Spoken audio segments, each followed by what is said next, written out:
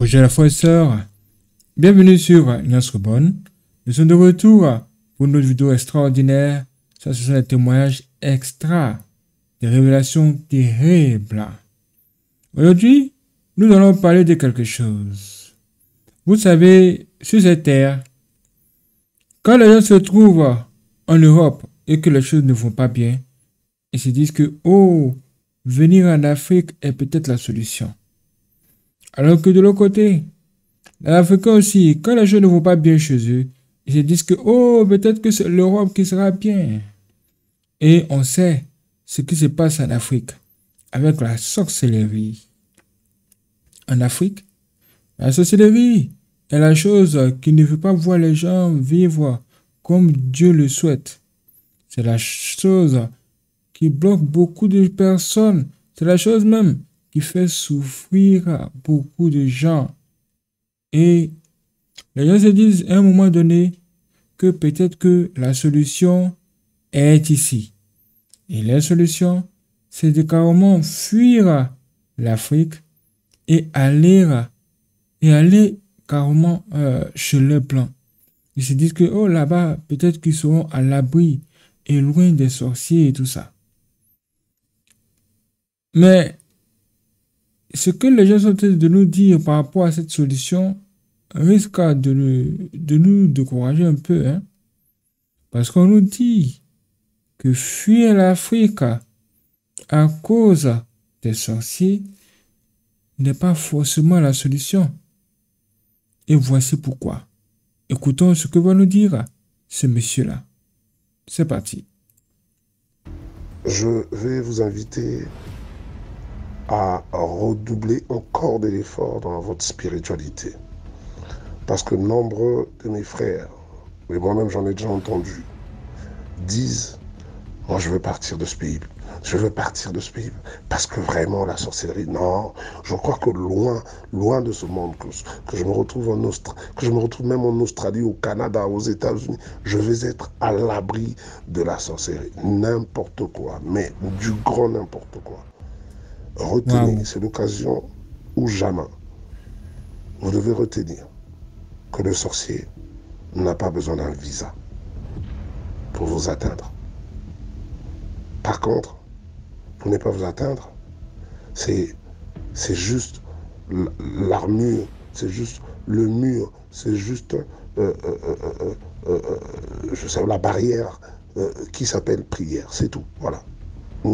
Arrêtez de penser. J'ai entendu beaucoup de gens dire, c'est ça la morale de, la dernière histoire, j'ai entendu beaucoup de gens dire, très loin de ma famille, je vais être à l'abri de la sorcellerie. N'importe quoi, mais du grand n'importe quoi. Voilà, je vous fais la morale avant de vous parler d'histoire. Pourquoi? Parce que ce monsieur avait un enfant qui habitait en France. Et il avait fait une plainte à son enfant en disant que les tôles laissaient passer l'eau. Donc ça sentait chez lui, parce que l'état avait vieilli. Et l'enfant n'avait pas, et, aussi, hein, faisons attention aux demandes et nos, ne faisons pas des promesses quand on ne peut pas les tenir. Attention aussi. Et l'enfant disait à son père, oui, je, ferai, papa, je, t'enverrai des sous, tu vas changer, t'inquiète, voilà. C'était tout le temps comme ça. Et un bon jour, le fils en France, rentre de son, boulot et, donc euh, va dormir. Il dort et pendant son sommeil, il reçoit une goutte d'eau sur son visage. Puis une deuxième, il, il essuie dans le sommeil. Puis une troisième, puis c'est plus les gouttes, mais c'est comme si l'eau coulait. Et il se dit que c'est dans le rêve. Il sursaute du rêve pour euh, euh, voir si c'est la réalité. Effectivement, quand il se réveille, c'était une réalité, mais où Au pays. Il s'est réveillé dans la maison de son père, au pays. Vous vous rendez compte le, niveau de son père? Il s'est réveillé au pays, je vous dis au pays,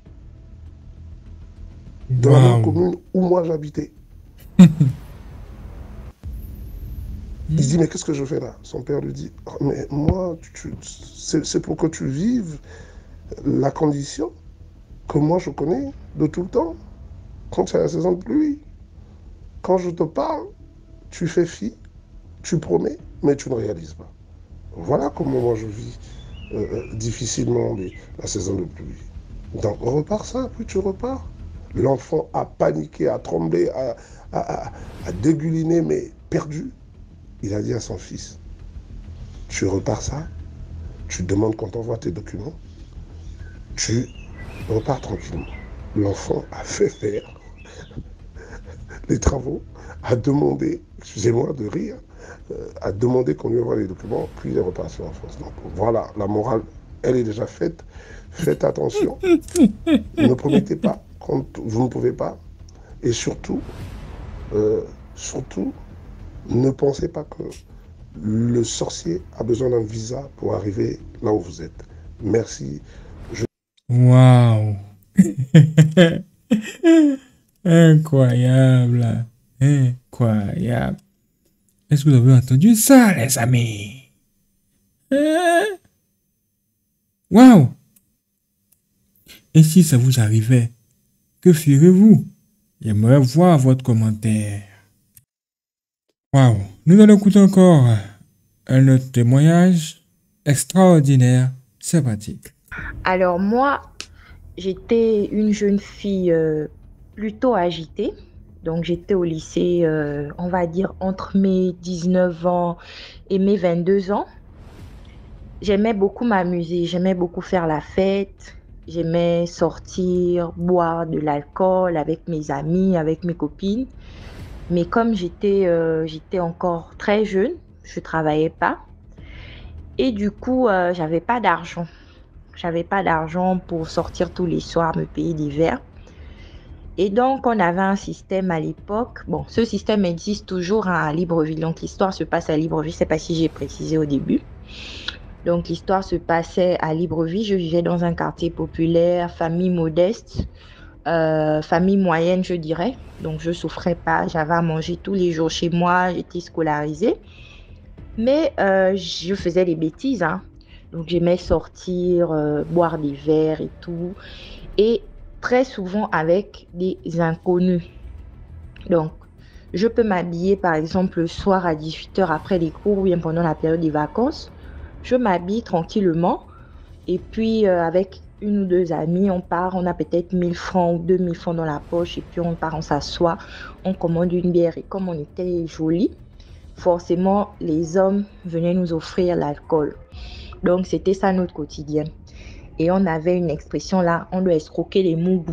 Donc, quand on part s'asseoir comme ça, et c'était pas dans les grands endroits, hein. c'était vraiment dans les bars des quartiers populaires. Là, on part, on s'assoit, on commence à boire une bière, une bière chacune. Et après, on attend que euh, on nous offre à boire. Et après, on discutait avec ces personnes-là, on échangeait durant toute la soirée, on s'amusait avec eux dans l'espoir de repartir de là, peut-être avec un numéro de téléphone. En fait, c'était escroquer les gars. Je suis sûre que les jeunes filles gabonaises connaissent ce que c'est. Les Camerounaises aussi, les Congolaises aussi. Donc, tu sors, tu te fais draguer, accoster et tout. Et après, les hommes qui, qui, t'ont abordé, non seulement ils vont te payer l'alcool gratuitement, ils vont te payer à manger. En plus, tu peux leur expliquer un problème demain après-demain et puis ils vont te donner un peu d'argent. Donc c'est comme ça que moi je fonctionnais. Et je marchais pas avec beaucoup de gens, je marchais la plupart du temps avec mes sœurs. Et plus particulièrement ma grande sœur. Aujourd'hui, je dis que c'est ma grande sœur parce que on se connaît depuis toute petite, on a grandi ensemble dans le même quartier, nos familles se connaissent, on n'a pas de lien de sang, mais je la considère comme ma grande sœur. Donc c'était ma sœur, enfin c'est ma sœur, c'est ma soeur, ma meilleure amie. On a fait les quatre son coups ensemble. On a vécu tellement de choses. Et nous, on aimait sortir vraiment pour, pour euh, faire ce que je vous ai décrit tout à l'heure là. Donc, escroquer les mougous, boire le vin et tout. Dieu merci, on n'est pas euh, issu de famille pauvre. Donc, nous, notre objectif, c'était juste de boire l'alcool gratuit, de profiter de la vie du dehors gratuitement.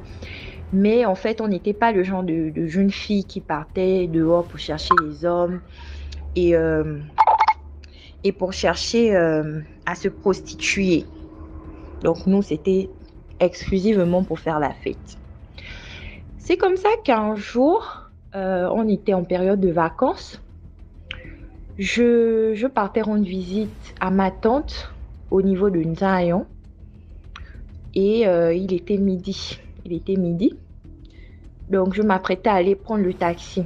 Donc, je devais proposer une petite somme, peut-être 200 ou 300 pour que le taxi me laisse au niveau de la maison de ma tante. Et les Gabonais connaissent, il y a ce qu'on appelle la galère des taxis à une certaine heure. Donc, sous le soleil, on était là, on galérait les taxis et tout. Donc, j'étais là, je cherchais mon taxi sous le soleil et tout.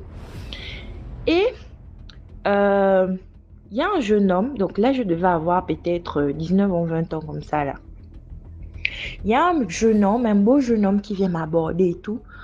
Bonjour, comment allez-vous et tout. Je, ne répondais même pas, je continuais à marcher, marcher, marcher. Mais euh, oui, mais madame, euh, comment allez-vous et tout ça euh, Est-ce qu'on peut se parler?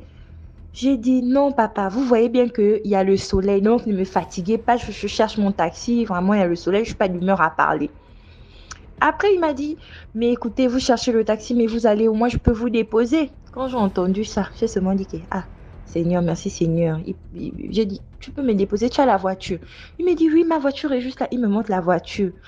Jolie voiture. J'ai dit que, oh Seigneur, je vais monter dans la climatisation. Oh. C'est comme ça qu'il me dit, bon, ok, ça c'est ma voiture. Mais avant tout, j'ai garé là parce que je dois rencontrer un monsieur. Et donc, si tu m'attends juste... Euh, 5 minutes, tu m'accompagnes en haut là, il y avait un bar en haut là, on boit juste un jus 5 minutes, je rencontre le monsieur et ensuite je te dépose. J'ai dit, il n'y a pas de problème, en plus de me déposer dans la clim, tu veux m'offrir un jus sous ce soleil là. Je partais chez ma mère, j'avais pas une urgence en fait. Donc du coup, j'ai dit, ok, allons-y, mais il faut pas trop traîner parce que voilà, j'avais pas prévu ça. Oh non, t'inquiète, t'inquiète, ok. On est monté pour les Gabonais euh, au bar, là, au sommet de, de l'Himalaya, là, en Zion, là. Il a rencontré le monsieur. Moi, je m'occupais pas d'eux. Hein. J'ai commandé un petit jus, j'ai bu. Ça n'a même pas fait 10 minutes comme il m'avait promis. Du coup, on est descendu, on est monté dans sa voiture climatisé. Le jeune, le jeune homme, vraiment, il, était peut-être, euh, on pouvait dire qu'il était peut-être dans la trentaine, comme ça, peut-être 32 ans et tout. Il était super sympa, drôle et tout. Il m'a déposé chez ma mère. Hmm, il m'a déposé chez ma mère et quand il m'a déposé, il m'a dit euh, Tu termines ici à quelle heure? J'ai dit que bon, d'ici 18h, 19h, j'aurais déjà terminé et puis voilà, après je vais rentrer. Il m'a dit Mais aujourd'hui c'est vendredi, tu as prévu de faire quoi? J'ai dit non, euh, en fait, euh, j'ai rien prévu. Euh, après, ici, je vais rentrer chez moi, donc j'ai rien prévu. Il me dit ça tombe bien parce que moi j'ai envie de sortir, j'ai envie de m'amuser, mais je dois aller sur la route. Donc j'ai une mission à faire sur la route. Et donc je termine, quand je termine à 17h, je viens te chercher et on va aller prendre un verre. Oh, j'ai dit, beau je Seigneur, un vendredi comme ça, là, je suis fauchée, je m'ennuie. Pas de souci, papa. Viens. En plus, franchement, il était, super mignon, le, gars. Il n'y a pas de problème. Euh, il m'a pas remis son numéro. Il a pris mon numéro. Il m'a dit, t'inquiète, je vais t'appeler. Je dit, papa, il n'y a pas de problème. Moi, je suis là. C'est comme ça que quand j'ai terminé, donc lorsque j'ai terminé chez ma mère, j'étais là. Je suis, il m'a pas appelé en fait à, à 17h. Donc, je suis montée euh, dans le même quartier. En fait, je suis partie de chez ma mère et je suis allée voir maintenant ma cousine qui était proche de, qui était dans le même quartier de ma mère en fait. Donc je voulais aussi aller lui dire bonjour et tout. Donc je suis partie, j'ai pris un taxi. Vraiment, c'était à côté. Quand je dis ma mère, c'est ma tante, hein, c'est ma mère. Donc ne, faites pas l'amalgame. Donc elle était dans le, même quartier que ma mère, ma tante et tout. Et du coup, on est, je suis partie chez ma cousine. On est en train de raconter et je lui ai expliqué que, euh, bon, là, je reviens de chez la vieille et tout ça, machin. Mais euh, je vais sortir, euh, j'attends que quelqu'un m'appelle. S'il ne m'appelle pas, je vais directement rentrer à la maison. Mais s'il m'appelle, je vais sortir avec un gars. J'ai rencontré un gars plutôt mignon et tout ça et machin. Donc, il se peut qu'on passe la soirée ensemble, on va aller s'amuser. Elle m'a dit que, ah, ma petite, c'était ma grande, ma, ma cousine, c'était ma grande soeur. Elle m'a dit que, ah, ma petite, c'est pas prudent t'es pas prudent. Donc, euh, quand il va venir te chercher, euh, s'il vient te chercher, je vais t'accompagner, je vais relever la plaque de son véhicule et il faut que je le voie. Je dis qu'il n'y a pas de problème. Ah, ça tombe bien, il m'appelle. Oui, euh, mais, mais tu es où? Je suis chez ta mère et tout ça, machin. Là où j'étais déposé. J'ai dit que non, papa. Là, je suis un peu plus haut chez ma cousine, donc tu peux venir là. Il a dit, il n'y a pas de problème. Donc, il est venu me chercher. Et ma cousine, elle était méfiante. Donc, elle m'a accompagnée. Elle a dit bonsoir au jeune homme et tout. Là, il était peut-être 19 euh, par là. Elle a dit bonsoir au jeune homme et tout ça. Elle a regardé la plaque. Elle m'a dit en tout cas, sois prudente, ma petite soeur. Je dis, oh, t'inquiète, j'avais l'habitude. Ce n'était pas la première fois que je me laissais aborder par un inconnu. C'est comme ça que le gars, le jeune gars maintenant, il me dit, bon, écoute, là, on va sortir, mais permets-moi juste d'aller chez moi, me changer et récupérer quelque chose. Et ensuite, on ira manger au restaurant. Je dis que papa, il n'y a pas de problème. Allons. Mais j'ai dit que tu habites où c'est d'abord? Il me dit que non, j'habite dans telle zone. J'ai dit que mais ça tombe bien parce que moi aussi, j'habite dans la même zone. Donc, euh, si tu veux, on part et tout ça. Donc, le gars, il est parti. Il a conduit sa voiture et tout. Donc, pendant qu'on est en train de conduire, donc il s'est maintenant bien présenté à moi. Il m'a dit, il dit que il travaillait dans les corps habillés. Je ne sais pas si vous comprenez l'expression là, mais quand chez nous, quand on dit corps habillé, ce sont les, les, personnes de force de l'ordre. Je, vais taire le, le corps. Mais en tout cas, c'était un garde des forces de l'ordre. Voilà, donc euh, quand il m'a dit ça, moi je me sentais en sécurité. En fait, je me suis dit, ah, bah, si c'est un garde des forces de l'ordre, peu de chance que ce soit un bandit. Donc, euh, vas-y, moi je j'étais en confiance totale. Il est parti, il a garé chez lui. Euh, moi, j'étais maintenant dans la voiture à l'intérieur. J'étais en train d'attendre. Il n'a pas duré. Il a pris ce qu'il avait à prendre. Et après, il m'a demandé. Ah non, on est d'abord parti. On est parti manger au restaurant. Quand il a terminé de façon, on est parti, on a mangé au restaurant. Et après manger au restaurant, on est parti boire un verre ensemble. Et là, j'étais vraiment en confiance. On discutait, on rigolait, on racontait du tout et de rien. Franchement, le, le courant est bien passé. Après, il m'a demandé, euh, dis-moi, tu n'as pas une frangine de confiance avec qui on peut passer la soirée? Parce que si on, il faut qu'on continue jusqu'en boîte de nuit, il faut que, euh, il faut qu'on soit un peu plus nombreux. Comme ça, moi aussi, je vais appeler mon frère. Je dis que ça tombe même bien en fait, ça tombe bien.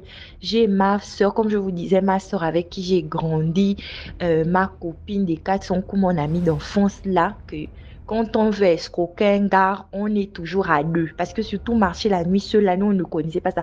Nous, quand on sortait la nuit, on marchait toujours à deux. J'ai dit oui, ça tombe bien. J'ai appelé ma soeur. Elle était toujours opérationnelle. Et même moi, quand elle m'appelait, peu importe l'heure, petite, tu es où, tombe, on était trop soudés dans, l'ambiance, dans le groove. Et on aimait ça. Une fois que je l'ai appelée, je lui dis que la grande, tu fais quoi? Elle me dit non, euh, je suis à la maison et tout ça. Je dis que maman, après toi, oh, on arrive, on vient te chercher. On qui Je dis que ah, j'ai rencontré quelqu'un qui va venir et qui va nous inviter boire. Et on, là, nous-mêmes, on sort du restaurant, c'est du bon. Elle me dit, il n'y a pas de problème, maman. J'ai dit que habite-toi. Tu m'emmènes aussi la chaussure parce que on va peut-être aller en boîte de nuit. Il n'y a pas de problème et tout ça. Donc, on est parti la chercher. Quand on est parti chercher ma soeur, le gars a dit, bon, vu que tu as ta soeur, comme je t'ai dit, je vais aussi aller chercher mon frère. Quand on part maintenant chercher son frère, le quartier là où il nous emmène chercher son soi-disant frère, c'est un quartier vraiment défavorisé.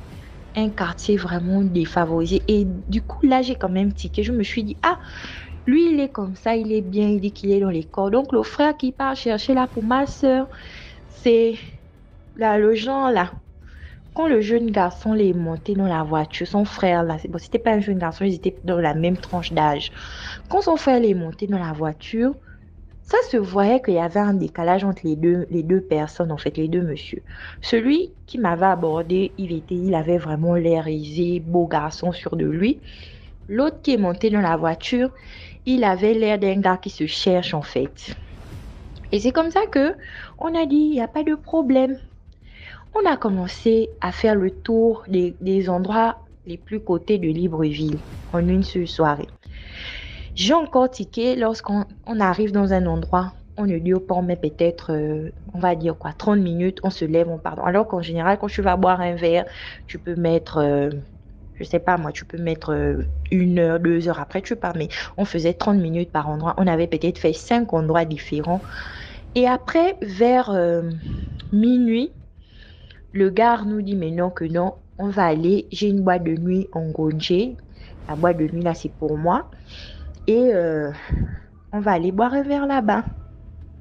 Donc, quand on est arrivé dans la boîte de nuit, nous, ma soeur et moi, on buvait les bières. Arrivé là-bas, j'ai dit à ma soeur que, ah, ça c'est un endroit prestigieux, donc euh, nos trucs des bières là, on va mettre ça à côté. Plus que nous, on n'était pas, on ne supportait pas le vin, on ne supportait pas la liqueur. J'ai dit, j'ai une, bonne solution pour nous. On va tout simplement prendre des cocktails alcoolisés. Non seulement c'est bon, mais si on prend juste un verre, un verre, on va supporter. Ma soeur a dit que, ah, tu sais qu'on ne supporte pas ça. En tout cas, en buvant ça, oh. on a commencé à boire. On a demandé deux verres de cocktail. Les gars nous ont installés à l'extérieur. Et eux, ils étaient à l'intérieur. Donc, on a pris nos verres de cocktail, ils nous ont mené les verres et tout. On a commencé à boire. Je pense même que c'est le, c'est le gars qui nous a même fait la suggestion des, cocktails. Que non, il nous a dit que non, ici, il n'y a pas des, trucs, des bières là, essayer de prendre autre chose et tout. Donc, on, on, ne buvait pas le vin et les liqueurs. Donc, on a dit, bon, emmène-nous des cocktails. Quand il a emmené les cocktails, on, on était toujours là, on passait toujours une bonne soirée, on était là à rigoler.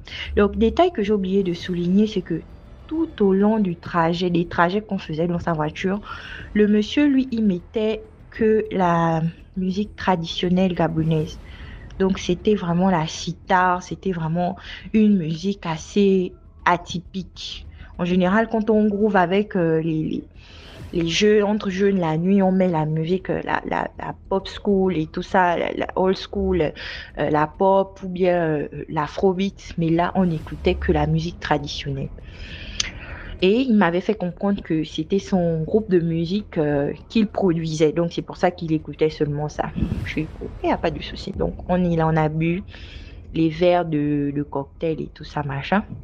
Et on n'a on a pas fait plus d'une heure il a dit, bon, c'est bon, j'ai fait ce que j'avais à faire ici à, ma boîte de nuit et tout. On va continuer.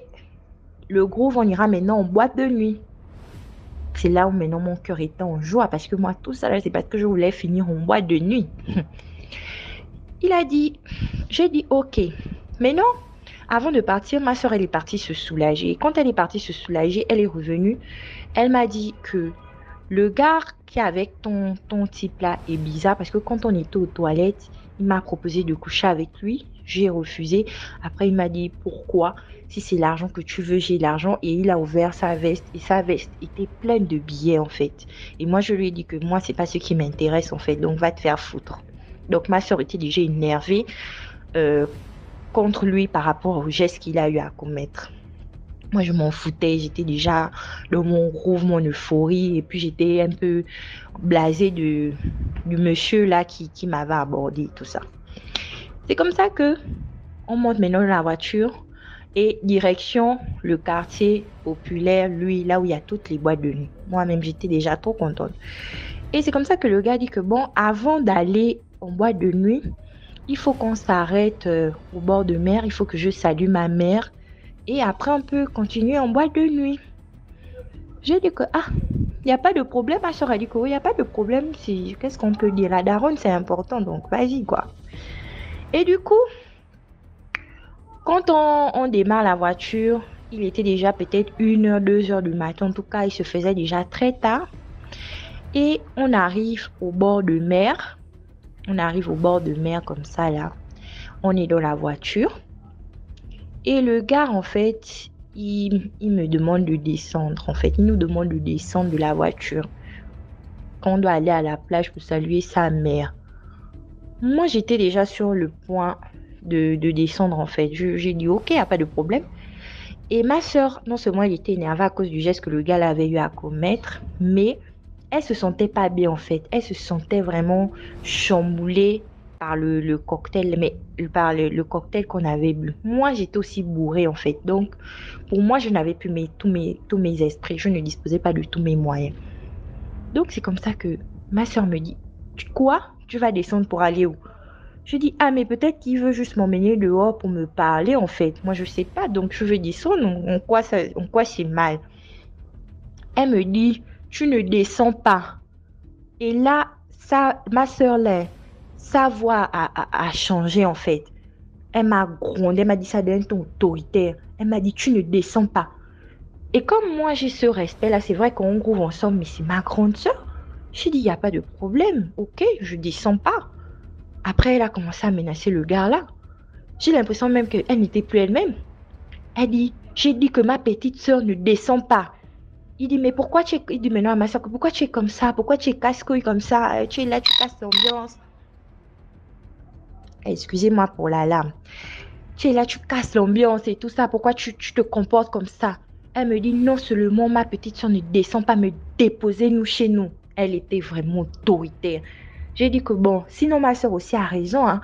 Qu'est-ce que tu veux me dire hors de la voiture, là en plein bord de mer, il n'y a personne, tout est vide. Tu veux qu'on aille à la plage à l'heure là, que tu ne peux pas me dire dans la voiture, bien que tu ne peux pas me dire depuis que toi et moi on a commencé à grouver ensemble il, a dit, bon, ok, il n'y a pas de souci. Il s'est énervé. Il est monté dans la voiture, il a claqué la vitre.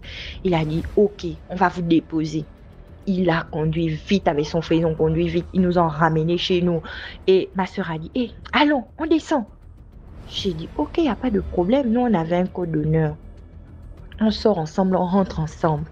Et on ne sortait pas, c'était pour coucher avec les gars à cause de l'argent. Ça, jamais. Parce qu'on ne mourait même pas des fins chez nous. On voulait seulement boire notre vin. Bourrer, après on rentre. Donc, elle me dit, allez, on descend. J'ai dit, ok, bon, au revoir, bonne nuit, ok.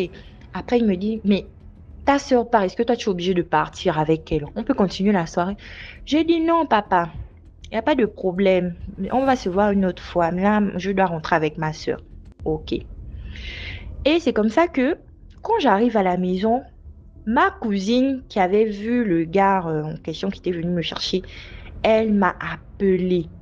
Elle me dit, baby, ça va? J'ai dit, oui, ça va. Qu'est-ce qu'il y a? J'ai dit, j'ai dit, qu'est-ce qu'il y a?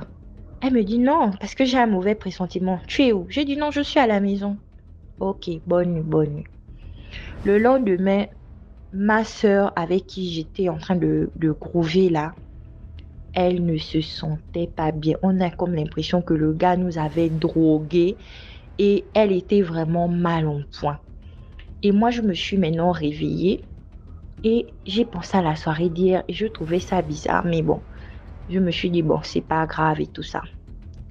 Et du coup, j'étais là en train de parcourir euh, les réseaux sociaux et tout. Je regardais les stories des gens.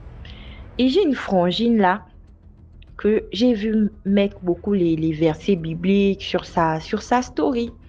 Et c'est comme ça que dans le Congo, ça, j'ai dit à ma plus grande, grande soeur, maintenant à la maison, puisque là on était à la maison, maintenant la plus grande, grande, et ma grande, grande soeur là, c'est une fille qui est dans le showbiz, le groove aussi. J'ai dit que, j'ai dans le Congo, ça, j'ai dit que, ah, depuis quand la fille là, là, là, je train de regarder ses stories, elle est en train de mettre les versets bibliques. Depuis quand la fille a connaît même la route de l'église, hein?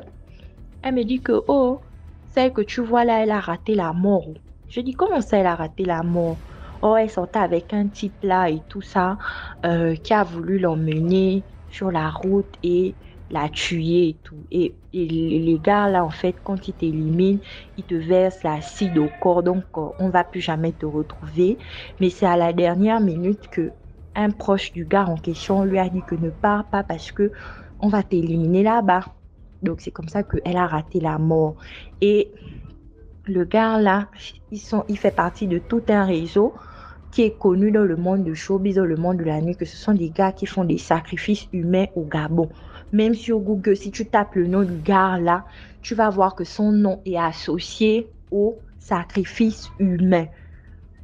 Et c'est un gars de tel corps euh, de, force de l'ordre. J'ai regardé ma soeur, j'ai dit, mais tu me parles de quoi? Je vous dis que ce que ma soeur me raconte, ça se passe le lendemain de ma soirée. J'ai même encore la tête dans les vapes. Je dis, mais tu me parles de quoi? Elle me dit, je lui dis, mais attends, le gars, il est comme ça, comme ça, il est dans tel corps, il est propriétaire de telle boîte de nuit, il, s'appelle tel. Elle me dit oui. Toi, tu le connais comment? J'ai dit, mais j'ai passé la soirée hier avec lui. Elle me dit quoi? J'ai dit, mais j'ai passé la soirée hier avec lui. C'est comme ça que je réveille maintenant l'autre qui dort. J'ai dit que maman, madame, réveille-toi un peu. On dirait que le gars là voulait aller nous sacrifier à, la plage. Comment ça? C'est comme ça que la grande nous raconte maintenant l'histoire de l'autre fille que j'ai vu les stories sur les réseaux sociaux là, elle, raconte la même chose à, ma soeur. Elle dit que mais les gars là sont dangereux, vous faisiez quoi avec eux, tout ça, machin. J'ai dit que ah, maman, on était seulement dans le groupe. Hein. Donc, c'est comme ça que en faisant maintenant le, le, récapitulatif de ma soirée, je me suis rendu compte que j'ai raté la mort inconsciemment et que moi-même j'étais déjà prête à aller me donner en sacrifice parce que j'étais manipulée par la musique que le gars là mettait dans la voiture, c'était pour nous envoûter et il nous avait certainement drogués. Et quelques jours plus tard, j'ai encore la confirmation de ces choses-là parce que j'ai discuté avec un de mes amis, on abordait, on était en train d'aborder ce genre de sujet-là, des, des, gars qui sacrifient les autres. Et mon ami là, il s'est confié à moi, il m'a dit qu'il est triste parce qu'il a servi de rabatteur à ces gars-là et il amenait les filles à ces gars-là, on lui donnait de l'argent et il ne savait pas ce que les filles devenaient et qu'il regrette ça. Après, j'ai dit que mais les gars-là, ils, ils sont comment? Il me décrit le même système le même réseau, les mêmes personnes, les mêmes noms. C'est comme ça que j'ai dit que, ah, j'ai raté la mort. Donc, depuis ce jour, j'ai décidé de ne plus monter dans les voitures des inconnus à Libreville. Parce que les crimes rituels existent ils aiment sacrifier les jeunes filles. En tout cas, ils sacrifient tout le monde, mais les plus vulnérables, ce sont les jeunes filles. Et surtout les jeunes filles qui aiment le groupe. Tu vas disparaître, là, on va dire porter disparu. On va, on va, même pas trop te chercher dans les premiers jours parce que on sait que tu es une fille qui aime la, le groupe, qui aime la bamboula. Donc, vraiment, j'ai pris peur parce que je me dis c'est tout un réseau. Et si je vous dis que même après plusieurs années, ces gars-là ont essayé de m'aborder encore avec le même système plusieurs fois. Et j'en ai parlé à une amie, elle m'a dit que c'est sûr même que tu es déjà fiché, que ce sont des gens qui te cherchent parce qu'on ne t'a pas eu une première fois, donc fais très attention. Donc, monter dans les voitures des inconnus, faire confiance à n'importe qui la nuit, ce n'est pas bon. Moi, j'ai eu la chance parce que peut-être que Dieu m'a épargné, même pas peut-être, Dieu m'a épargné j'ai écouté ma grande sœur.